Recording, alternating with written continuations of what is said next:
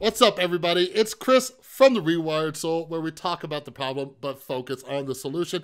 And I am joined once again by the wonderful Dr. Mark Goulston. How you doing today, Mark? I'm doing good, Chris, and uh, thank you so much for supporting all the efforts that I'm making to uh, to lessen suicide. And uh, and to all you listeners, uh, I, I, know Chris can be controversial. Uh, but you know, I, I, will tell you, he has a certified heart of gold. Mm. But there's many layers over it, so you have to get to know him to see it and feel it. you gotta get get down through the layers. Yeah, no, absolutely. And and something that um, I'm trying to assist with is getting the word out there about the Stay Alive video that you did with uh, Kevin, Kevin. Hines and uh, the artist uh, Reiko.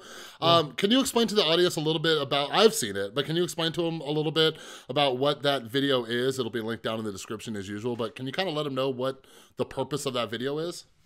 Okay, so Stay Alive is a it's a conversation uh, that I moderated, uh, and the two main participants besides me were Kevin Hines, and he's the this force of nature who jumped off the Golden Gate Bridge and survived. He's an amazing human being. And Reiko is a Japanese pop singer, you know, and she's had depression in her life, and but she's also an advocate for suicide prevention.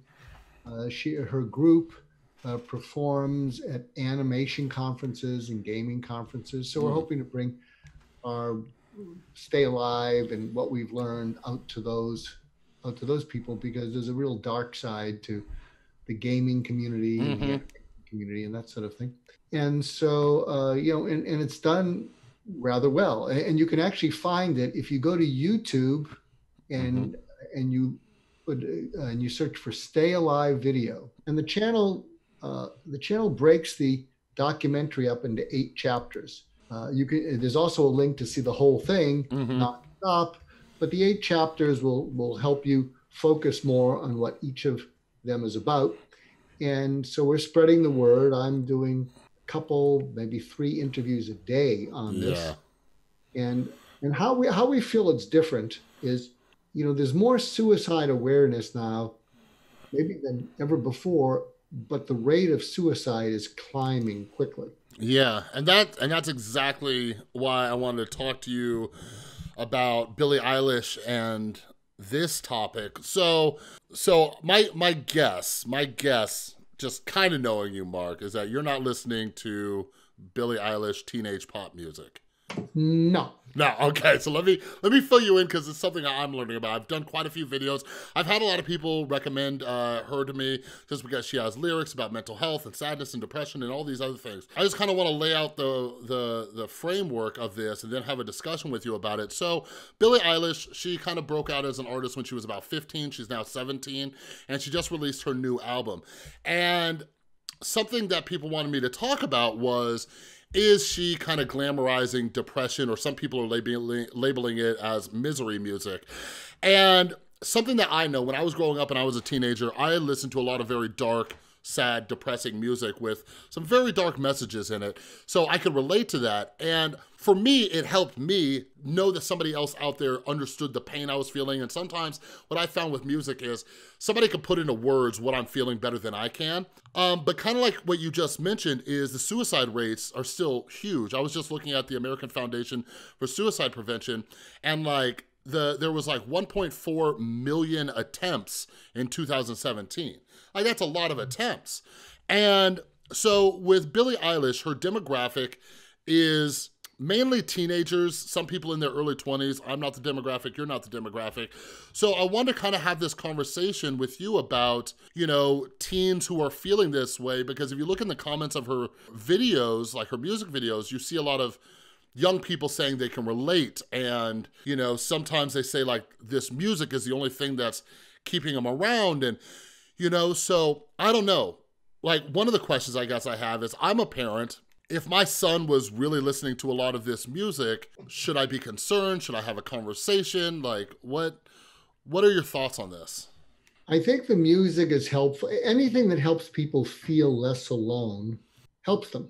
You know, along the same lines, and something I have mixed feelings about, I, I have 560,000 Twitter followers. and I have permanently pinned at at Mark Goulston. If you go there at M A R K G O U L S T O N, I've permanently pinned at the top a, a question: How many of you have known of or known someone in your community who committed suicide? I know you're not supposed to say committed suicide, and, but it's too late, and it has 2.4 million impressions. A lot of impressions. Mm-hmm. Uh, over 1,400 comments and two thirds of the comments are people just listing all the people they know who've killed themselves. Mm-hmm. And it's chilling. Uh, and a number of people say, I've tried several times. And a number of people have said, I've tried several times and I'll probably eventually do it. Now, it's a community. Uh, you know, it's just me putting it up there. And what I do is I invite people to share with each other compassion. You know, uh, uh, in fact, I remember someone reached out to me and said they were feeling worthless. And I said, if you're feeling worthless, go track the comments. And if there's someone who's having a hard time, and I can't stay on top of them, again, it's not a clinic, it's a community. You know, we have references to national suicide lifeline numbers, etc. Mm-hmm. I said, reach out and, and check and just check with someone like haven't haven't heard your comments lately, just checking to see if you're okay. And a number of those people are going to say, thank you for reaching out. Mm-hmm. And you may have you may actually save some lives. And what's going to happen is you're going to feel worthwhile. Yeah. No, uh, absolutely.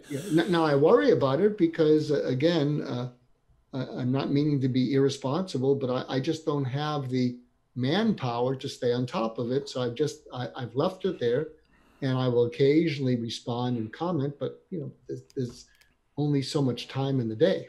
Yeah if you're worried about your, your kid being in a, in, a, a, tough place, and a lot of times adolescents, they don't want to talk. Mm-hmm. And, and, one of the reasons they don't want to talk is many times they're afraid that if they talk, they're going to start to cry. Mm. And what they don't know, and even this is true with adults. I mean, when I was in a clinic, in my clinical practice, I wouldn't make anyone cry. I'd enable them to cry. Mm and they had and they had so much crying inside to me it was like looking at a big abscess with all this pus that needed to drain mm-hmm. but just like if you have an abscess you, you know you don't want the surgeon to go in there with the scalpel and whatever even though you know it needs to drain and mm-hmm. and, and so human beings are like that yeah and, and and it's good even though initially you know the knee-jerk reaction of parents who don't have these kind of close conversations with anyone uh, will will say oh it'll be okay but what you have to realize is it's good for them to cry. Mm-hmm. They're crying with the relief of not feeling so alone. That, that can then lead to what to do about it. But I wouldn't race in with what to do about it. Mm-hmm. I, I, I, I get the feeling for them to kind of even get it out of their system. Yeah. And other questions you can say, here's a good question. So they're crying about it. What you what you then say is, look at me. Look at me. I understand anyone would have felt that way. And it's going to get better. Um, next time that happens, what would be a better thing to do when you're feeling that bad? What you're hoping they'll start to realize is talking to you. yeah. talking to someone. Yeah. And so getting circling back is because people don't have this. Mm-hmm. They when they when they resonate with music that they can relate to. Because what, what you said at the beginning of my long, you know, monologue there is people are writing comments to these the song and they say, "Oh, I can really relate to it," mm-hmm. just like they can say it on that tweet at my uh, Twitter page, and I can relate to it. I can connect to it, mm-hmm. and that's what people. Yeah. You see what happens is people who feel really depressed and suicidal they can't connect to anything. And so when it gets really awful, they connect to death to just take the pain away. So, so there's, this real deep need to connect with other people. But what's happened is we don't have the vocabulary for it. Yeah. Uh, I love music because music there's something, it's not just the lyrics we're relating to. You know, the lyrics are weaved into the melody, and the melody can draw you in. Mm-hmm. And it's interesting, something I didn't realize until the last 10, 15 years, some of my favorite songs, you know, from an older era, I sort of remember the lyrics, but a lot of times it was the music. and I was drawn into the melody. Mm-hmm. And and and some of my favorite songs, I only really read the lyrics in the last 20 years and I thought, oh my God, those were amazing lyrics. I, I, wasn't hearing the words, I was hearing the melody because the melody would draw me. Yeah, and that's that's something that that's one of the reasons why I really like um, breaking down lyrics too is like I know when I when I first started working on my own mental health and trying to pull myself up out of that hole was just like learning how to communicate these things, even if it was just with myself, right? Like, this is what you're feeling. This is how it feels. And I, I don't know. I might just be, you know, there's a theory of mine that people enjoy me breaking down some of those lyrics because it helps dive even deeper. Or maybe it's just some confirmation that the way they interpreted these lyrics, maybe somebody else interpreted them, them as well. But I know you and I have talked about, you know, you wrote a piece on Anthony Bourdain after he passed away. And here's a conversation that keeps coming up. Billie Eilish being a young woman of 17 years old, making these very dark lyrics, and she's she has said that she kind of does this as like a, uh, she like thinks of different characters. That's how she writes her music. But you know, there's interviews where it seems a little bit differently. But here, here's a thing. Um, I don't know if you remember um, Chester Bennington. He he was a musician who took his own life a couple years ago. Um, recently was the anniversary of Kurt Cobain. And I know as listeners, as the audience, there's not much we can do. We don't know these people, but I don't know. There's an there's there's a conversation out there like, oh, you know, this doesn't involve you. This isn't your concern, which I kind of disagree with because we do lose people all the time. So it's like, what can we do? What conversations can we have? How do we know if somebody is struggling? Because like I like I just made a video talking about Chester Bennington that came out of nowhere um, for me. And when you look at his interviews and stuff before he passed away, he was very happy and outgoing and and everything like that. but the conversation I was trying to have with people is I know that when I was at my lowest in my depression, I could easily put on a mask and make everybody believe that I was okay. What are do you have any thoughts or suggestions on that for if somebody has somebody in their life, like are there are there subtle signs to look for if somebody appears okay, but clearly something else is going on? Maybe maybe a parent finds their kid's journal, right? And they're writing down these dark thoughts or whatever it is, but on the outside, you know, they're playing sports and they're doing well in school and they have friends. Do you have any any suggestions about that? Because that's something I worry about because I know I used to wear that mask all the time that I was okay. Well, there's something that I suggest to parents, and you you know I've already gone over the seven words, but uh, I often suggest to parents, especially teenagers who aren't old enough to drive yet, the best time to have conversations is when you're driving somewhere because it's not eye to eye, heart to heart.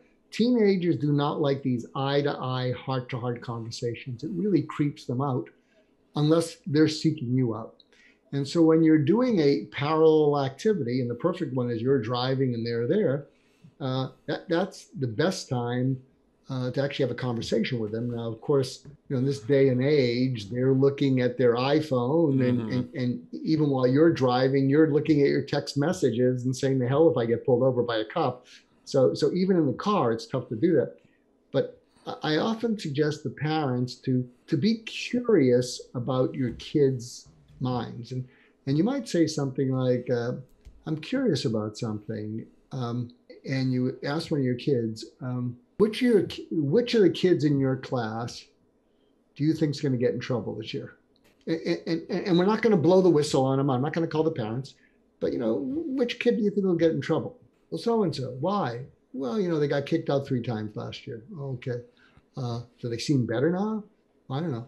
Uh, and again, you're you're not giving them advice, you're pulling things out of them. And uh, or you might even say, uh, uh, any idea why they get in trouble? Any any thoughts about what happened to them that mm-hmm. they keep? So it's a way of drawing out of them, you know, insight, judgment, perspective. But where you really want to take it uh, is you want to get them to talk about stuff. Mm-hmm. So, so another question you might ask them which is school related, you could say, you know, you know, I'm really, I'm really, I'm really liking finding out how you think. Let me ask you in school, what's a class you can you don't have to study for until the last minute. You can get away with it. Mm-hmm. And, what, and what's one that you better stay on top of? And again, you don't tell them what to do, but you're planting seeds in them. Well, I better stay on top of uh, you know a math because you miss a couple days, you never get caught up. But if I have to write a term paper, you know, I could probably bullshit the last minute and throw some. well, well, that really makes sense. But you're having them come up with their solutions. Yeah. Uh, and then, and then, you know, where you really want to take it, and I'm not saying you should have this all in one conversation, but you can plant the seed and on a future drive, you can say, remember how I asked you all those kind of, you know, crazy questions that I was curious about? Yeah, yeah, okay. What dad? What mom? Well, it's back again. I got a couple more. And you say it sort of in a humorous way. How do you know the difference between, for yourself, a bad mood you're having that is just going to pass, you know, mm-hmm. and you're, and you're angry or you want to, you know, never speak to one of your friends. You just know, you know, it's sort of temporary and something that doesn't seem temporary. And so you're wanting them to tell you the difference. Mm-hmm. Uh, how do you know the difference between something you should come and talk to me or your mom or your dad about and something you should try and figure out on your own? Mm-hmm. So do you follow what I'm saying? It's a it's a different frame of yeah. inquiry. Yeah, something something that I've even done with my 10 year old son because like um, I'm a I'm a fan of I'm not no, I'm not sure if you're familiar with Dr. Daniel Siegel. Um, he does a lot of like uh, neuroscience and childhood brain yeah, development. Yeah, mindfulness. Yeah, mindfulness. yep, yep. Love his stuff, and and he talks a lot about I forgot which book it was. I think it was like the Yes the yes mm-hmm. brain or something. But it, a lot of it is like uh, having your children like put stories together to kind of connect the dots. And so like when i watch a movie with my son like i'm like which what parts did you like about this movie? What what do you think that character was feeling or thinking? And i think it's helped him develop empathy but even still like something I'll ask him, you know, I'm a 33 year old man, he's 10 years old, but we'll be driving and I'll tell him about an issue that I'm going through and I'll ask him for suggestions, be like, well, what would you do in this situation, right? If you were dealing with these types of comments from people on the, your YouTube videos, or if you were dealing with this with your friends, like, what do you think I should do? And something I, I'm just trying to get his his problem solving wheels turning absolutely. to kind of uh, look at look at those situations. And and um, I, it's something I've really been practicing with him the last couple months. And um, I've noticed that he's come to me more often um, maybe he'll just overhear me having a conversation and just kind of toss in some suggestions and and things like that. But I've also had him come to me and tell me about his own situations. He plays a ton of Fortnite with his friends online, and he'll tell me about those situations. Like, Dad, I got really upset, and I just told my friends I had to walk away for a little bit, and things like that. So, so yeah, I'm not like I'm not sure if it's working. It's just something that I'm I'm trying to do because my number one thing that I'm trying to do with my son, like my number one goal, is that he always knows he could talk to me. You know, because even in the Twitter chat today, like we were talking a lot about teens and youth and and I just know there's so much fear around talking to parents. I know when I first started developing a lot of my depression and anxiety in high school, I was afraid to talk to a teacher, a counselor, my parents. I was afraid that they were gonna send me and like lock me up in a straitjacket just because I didn't know any better. I like if if anybody knew what was going on in my mind, I thought they were gonna lock me up. So I just kept it inside you know so that's that's why i love having these conversations about just figuring out different ways to discuss well, things well, it's interesting you say that because because i think you're absolutely right that a lot of teenagers are afraid to have these conversations uh, i think there's several layers uh, superficially what they're afraid of is you know i'm going to get punished or i'm going to you know they're going to look at me like i'm weird or i'm sick another thing they're afraid of but not as conscious of it as that is that it's going to be a sort of, I wouldn't say belittle, but just sort of disregard, oh, that's no big deal. And then what that's going to trigger in you is, I knew I shouldn't have told them. What it's going to trigger in you is hurt, resentment. And if they do that a lot, you start to get enraged at them. Mm. You know, and so there's a fear that either uh, they'll punish me or they'll just, you know, uh, uh, minimize it or uh, they won't they won't be able to do anything and then i'll really feel alone and helpless because maybe i'm saving talking to them when i really need them and then when i talk to them and i really need them and and they come up clueless, that's just going to make me feel even more alone. Mm-hmm. A lot of these things are functioning in, in teens' minds. I think what you're doing is, is is actually brilliant because you're not laying your problems on him.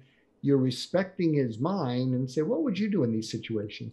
I also love the idea of if you ever watch anything, a movie or you watch American Idol or The Voice or any of these things, I think asking your kids questions, you know, who do you think the most nervous contestant was? Mm. You know, who's the one do you think that had the most sad story that the judges, you know, you know, wanted to push through, but mm-hmm. they just weren't talented enough. And geez, what do you think that kid felt? So I think using those shared experiences and causing them to sort of drill down, because see, what you really want your kids and you and and our listeners to really be able to do is pause and ask themselves, what happened to me that caused me to want to do this? I feel like hurting myself or hurting someone else. You want people to stop and, and say to themselves, what happened to me that caused me to do that? Yeah, that's you know, and then and then mm-hmm. and, and, with some luck, and and when they pause, uh, that can help them back off that irresistible impulse that could be really destructive.